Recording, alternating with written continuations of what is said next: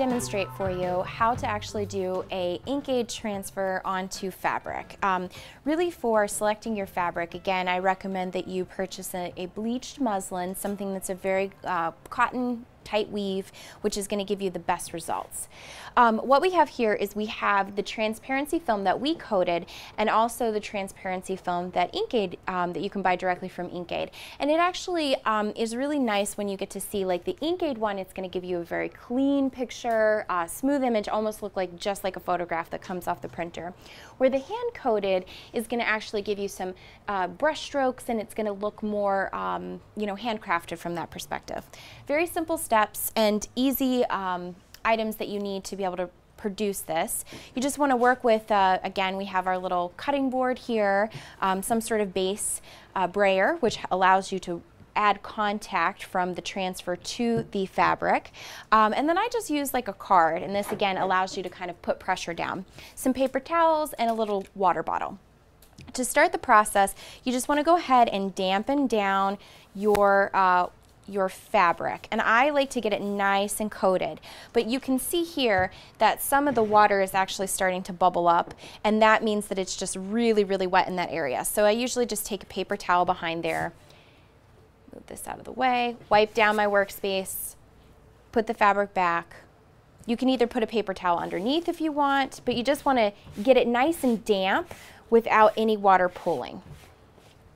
Okay, so now I've kind of dried that up. I'm going to just put my paper towel underneath, dampen that down. Okay. So once it's nice and good damp, you can take your transparency. You want to make sure you put the sticky side down, and I just lay it down in the corners like this.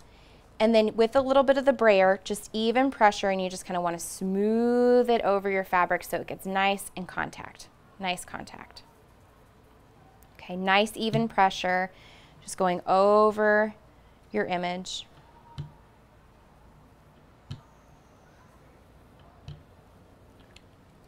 And once you have the contact down, then you can go with the credit card and you can start brayering it down, you know, which means you really just put a lot of pressure in, move it over the image.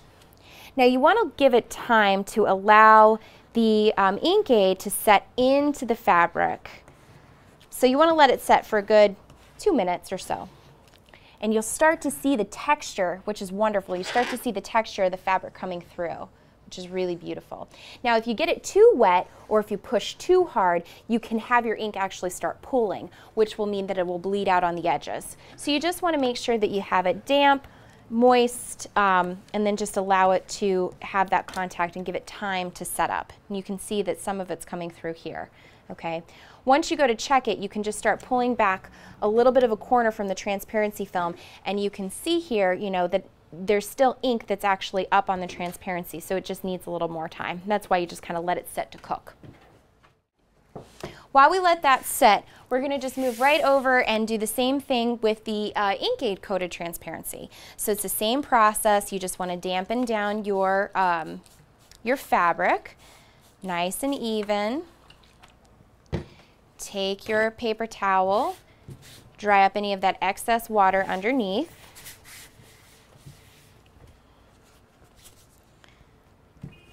Kind of blot it up so it's nice and even. Also helps you smooth out any wrinkles if you have any.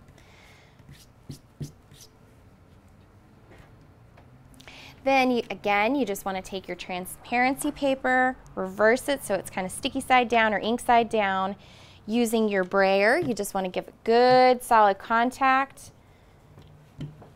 Roll it all down, get it nice and on there, making sure you're going both directions, but even pressure, because again, you know, too much water, your ink will start pooling. So you just want to make sure that you get nice contact. And then just with your card, go over and just really smooth that down okay? So we're going to do the same process that we did with the other, just let it sit. That's how we can get it all nice and good contact. About two minutes, and you can always just check the corner to see how you're doing.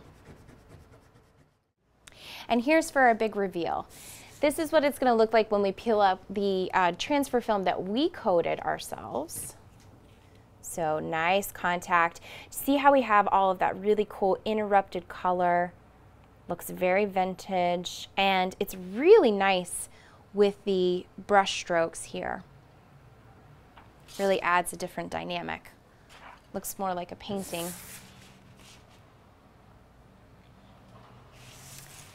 And here is the reveal of the transfer with the inkAID transfer film where inkAID pre-coats this.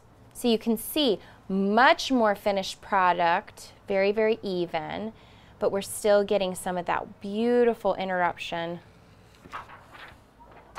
It just looks awesome.